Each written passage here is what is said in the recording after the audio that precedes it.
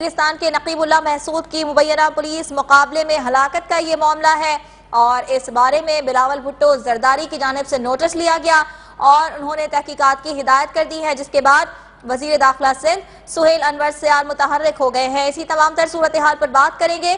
S S P ملی راؤ انوار نے ہمیں جوائن کیا ہے۔ راؤ انوار صاحب، بہت شکریہ نیوز ون کو وقت دینے کے لیے۔ آپ سے یہ جاننا چاہیں گے کہ نقیب اللہ محسود کی پولیس مقابلے میں ہلاکت کو مشکوک قرار دیا جا رہا ہے۔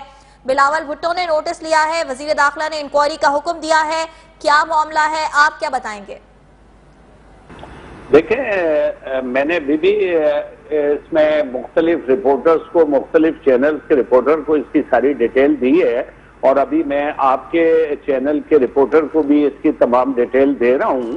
اور یہ ایک آدمی جس کا نام یہ نقیب اللہ بتا رہے ہیں، یہ نسیم اللہ کے نام سے اس نے جعلی شناختی کارڈ اور دوسرے کارڈ بنا کے یہ ہب میں رہتا تھا، یہ کراچی کا رہائشی نہیں ہے۔ پہلی چیز تو یہ ہے، یہ وزیرستان سے آ کے ہب میں رہتا تھا اور ایک فیکٹری میں کام کرتا تھا۔ اور ابھی جب اس کے بعد ہم نے مزید اور معلومات کی ہیں تو یہ ستر اسی لاکھ روپیہ یہاں ایک جگہ انویسٹ کرنا بھی چاہ رہا تھا۔ اور اس میں اس کے پاس کہاں سے یہ ایک فیکٹری ملازم کے پاس تین سال میں اتنے پیسے آگئے نمبر ون اور یہ ہمیشہ اس طریقے سے وہاں سے آنے کے بعد یہاں چھپتے ہیں، جب وہاں آپریشن سخت ہوتا ہے یا زیادہ سردی ہوتی ہے، تو یہ یہاں آ کے مختلف جگہوں پہ باحیثیت گن مین سیکورٹی گارڈ نوکری کرتے ہیں انفارمیشن لیتے ہیں بزنس مینوں کی، ان کو کڈنیپ کراتے ہیں۔ یا پھر کسی ٹارگٹ میں ہوتے ہیں، پولیس کو دیکھتے ہیں، ان کو کی ٹارگٹ کلنگ کراتے ہیں۔ وہاں بھی یہ تمام جرم کر کے آئے۔ ڈیرہ اسماعیل خان میں یہ وانٹڈ تھا، یہ وزیرستان میں ایف سی اور آرمی سے لڑائی کرتے رہے۔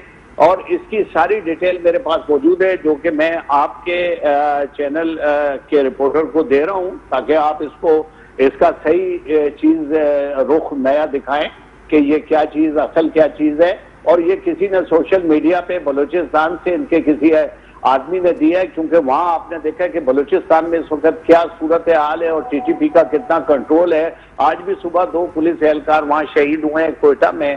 اس طریقے سے یہ پورا ایک نیٹ ورک بن گیا ہے جو کہ ہب اور بلوچستان کی طرف زیادہ تر یہ لوگ چلے گئے ساکران کی طرف چلے گئے کراچی میں ان کے خلاف سخت کارروائی ہوئی ہے۔ ان کو یہاں اب جو ہے اس طرح سے وہ پناہ نہیں مل رہی ہے جو پہلے یہ انہوں نے اپنے قدم جمائے ہوئے تھے۔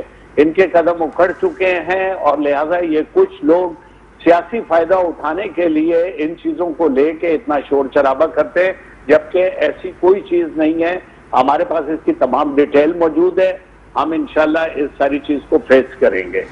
ایس ایس پی ملی راؤ انوار ہمارے ساتھ موجود تھے اور وہ یہ کہہ رہے تھے کہ اس مقابلے کو مبینہ مقابلہ قرار دیا جا رہا ہے اور تمام تر جو معلومات ہیں ان کے پاس آئی تھی، جس کے بعد یہ آپریشن کیا گیا، یہ کارروائی کی گئی۔ ان کا یہ کہنا تھا کہ نقیب محسود ہب بلوچستان میں T T P network چلا رہا تھا۔ نقیب محسود کراچی کا رہائشی نہیں تھا۔ ایس ایس پی ملی راؤ انوار نے ہم سے بات کی اور یہ بتایا کہ یہ لوگ وزیرستان سے آ کر کراچی میں چھپ جاتے ہیں۔ یہ گن مین یا سیکیورٹی گارڈ کی نوکریاں کرتے ہیں اور پھر کارروائیاں کرتے ہیں۔